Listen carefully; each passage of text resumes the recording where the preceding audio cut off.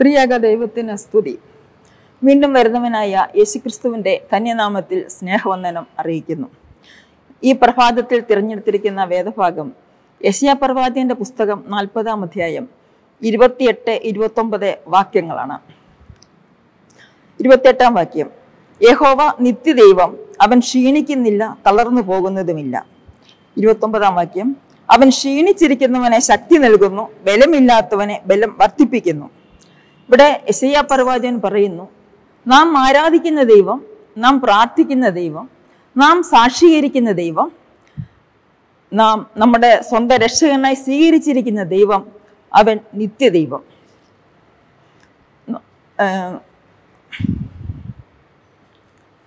താൽക്കാലികമായിട്ട് നമ്മെ ദൈവം രക്ഷിക്കാം അല്ലെങ്കിൽ സഹായിക്കാം എന്നല്ല ദൈവം പറയുന്നത്.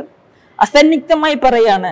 നമുക്ക് തളർച്ച വരുമ്പോൾ നമുക്ക് പ്രയാസങ്ങൾ വരുമ്പോൾ നമുക്ക് ഭാരങ്ങൾ വരുമ്പോൾ ഞാൻ നിന്നെ സഹായിക്കാമെന്നാണ്. ദൈവം അസന്നിഗ്ധമായി പറയാണ് കണ്ടാലും ഞാൻ ലോകത്തിന്റെ അവസാനത്തോളം എല്ലാ നാളും നിങ്ങളോട് കൂടെ ഇരിക്കാം. ഇരിക്കാൻ ഞാൻ ശ്രമിക്കാം അല്ലെങ്കിൽ സാധിക്കുമെങ്കിൽ ഇരിക്കാം എന്നൊന്നുമല്ല ദൈവം ഇവിടെ പറയുന്നത്. കണ്ടാലും ഞാൻ ലോകത്തിന്റെ അവസാനത്തോളം എല്ലാ നാളും ഞാൻ നിങ്ങളോട് കൂടെ ഇരിക്കാം. എല്ലാ നാളും എന്ന് പറയുമ്പോൾ നമ്മുടെ രോഗത്തിന്റെ നാളുകളിൽ ഈ ദൈവം നമ്മോട് കൂടെയുണ്ട്. നമ്മുടെ വേദനയുടെ നാളുകളിൽ ഈ ദൈവം നമ്മോട് കൂടെയുണ്ട്. പ്രതിസന്ധികൾ വരുമ്പോൾ നമുക്ക് മുന്നോട്ട് നടന്നു നീങ്ങുവാൻ പറ്റാതെ വണ്ണം നമ്മുടെ വഴി അടഞ്ഞു വന്ന് ഭയപ്പെട്ടിരുന്ന നാളുകളിൽ ഈ ദൈവം നമ്മോട് കൂടെയുണ്ട്. അതെ അവൻ നിത്യദൈവമാണ്. നമുക്ക് ഉറപ്പിച്ചു പറയാം നമ്മെ വിളിച്ച ദൈവം വിശ്വസ്തനാണ് അവൻ വാക്കു മാറാത്തവനാണ് ഈ ദൈവത്തോടാണ് സങ്കീർത്തനക്കാരൻ പ്രാർത്ഥിക്കുന്നത് ഞാൻ എന്റെ കണ്ണുകൾ പർവതങ്ങളിലേക്ക് ഉയർത്തുന്നു. എനിക്ക് സഹായം എവിടെ നിന്ന് വരുന്നു? എന്റെ സഹായം ആകാശവും ഭൂമിയും സൃഷ്ടിച്ച യഹോവയുടെ സന്നിധിയിൽ നിന്നാകുന്നു.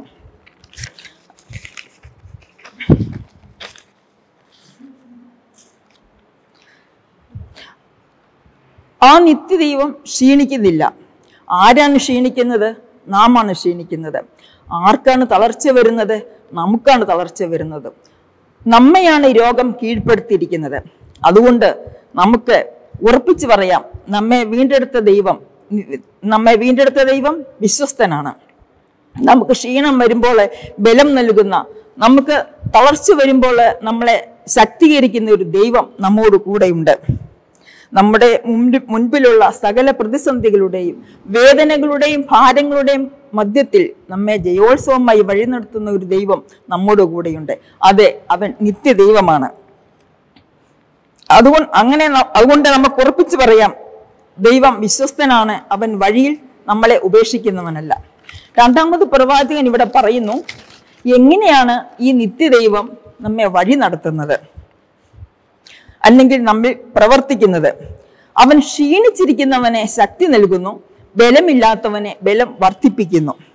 ഒരുപക്ഷെ നമ്മുടെ ഇന്നത്തെ ഈ അവസ്ഥയിൽ അല്ലെങ്കിൽ നമുക്ക് രോഗം വരുമ്പോളെ ഭാരം വരുമ്പോളെ പറയുമായിരിക്കാം ലോകം വിധി എഴുതിയിരിക്കാം ഇതോടുകൂടി അവന്റെ പ്രശ്നങ്ങൾ തീർന്നു അല്ലെങ്കിൽ അവന്റെ കുടുംബം തകർന്നു എന്നൊക്കെയും ഒരുപക്ഷെ വിധി എഴുതിയിരിക്കാം. എന്നാൽ ഇവിടെ പറയുകയാണ് തളർച്ചയില്ലാത്തവൻ ബലമുള്ളവൻ ആ നിത്യദൈവം നമ്മോട് കൂടെയുണ്ട്.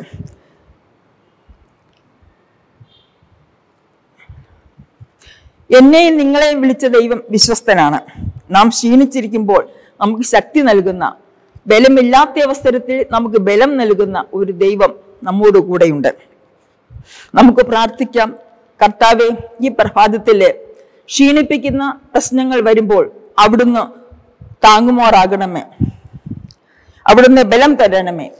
ഞങ്ങളുടെ ആത്മീയ ജീവിതത്തെ തകർത്ത് കളയുന്ന എന്തെങ്കിലും പ്രശ്നങ്ങൾ ഉണ്ടായാൽ അവയെ തരണം ചെയ്യുവാനുള്ളതായ കൃപ അവിടുന്ന് നൽകുമാറാകണമേ. നമുക്ക് ഉറപ്പിച്ച് പറയാം നമ്മെ വീണ്ടെടുത്ത ദൈവം നിത്യദൈവമാണ് സങ്കീർത്തന സങ്കീർത്തനത്തിലെ ഇരുപത്തിമൂന്നാം സങ്കീർത്തനത്തിലെ ദാവീദ് പറയുന്നു യഹോവ എന്റെ ഇടയനാകുന്നു. എന്റെ നിത്യ ഇടയനാകുന്നു. നമ്മൾ സൺഡേ സ്കൂളിലൊക്കെ പഠിച്ചിട്ടുള്ള നമ്മളെ പഠിപ്പിച്ചിരിക്കുന്ന ആദ്യത്തെ വേദഭാഗമാണ് ഇരുപത്തിമൂന്നാം സങ്കീർത്തനം. അത്രയ്ക്കത് മനോഹരമാണ്. യഹോവ നിത്യദൈവമാകുന്നു. യഹോവ എന്റെ ഇടയനാകുന്നു. നമുക്ക് ഈ വാഗ്ദാനങ്ങളിൽ നമുക്ക് വിശ്വസിക്കാം. അതുപോലെ തന്നെ എനിക്ക് ആരെയും ഭയപ്പെടേണ്ട കാര്യമില്ല. കാരണം ഭയത്തെ മാറ്റി തന്നിരിക്കുന്ന ഒരു ദൈവമാണ് നമ്മുടെ ദൈവം.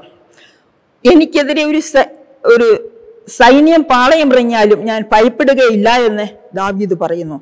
എന്തുകൊണ്ടാണ് യഹോവ എന്നോട് കൂടെയുണ്ട്? ഈ വാഗ്ദാനങ്ങളിൽ നമുക്ക് വിശ്വസിക്കാം. അതെ. നമ്മുടെ ആത്മീയ ജീവിതത്തിൽ അല്ലെങ്കിൽ നമ്മുടെ മുന്നോട്ടുള്ള ജീവിതത്തിൽ കർത്താവ് എന്തെങ്കിലും പ്രശ്നങ്ങൾ ഉണ്ടായാലും പ്രതിസന്ധികൾ ഉണ്ടായാലും അവിടുന്ന് താങ്ങി നടത്തണമേ അവിടുന്ന് ബലം തരണമേ. അതെ ആ പ്രത്യാശയുടെ തീരത്ത് എത്തുന്ന സമയം വരെയും ഞങ്ങളെ താങ്ങി നടത്തിക്കൊള്ളുമാറാകണമേ. അതിനായിട്ട് നമുക്ക് പ്രാർത്ഥിക്കാം. അതിന് ദൈവത്തിന്റെ പരിശുദ്ധാത്മാവ് നമ്മളെ ഓരോരുത്തരെയും സഹായിക്കട്ടെ എന്ന് പ്രാർത്ഥിച്ചുകൊണ്ട് ഞാൻ നിർത്തുന്നു. ദൈവനാമം മഹത്വപ്പെടുമാറാകട്ടെ.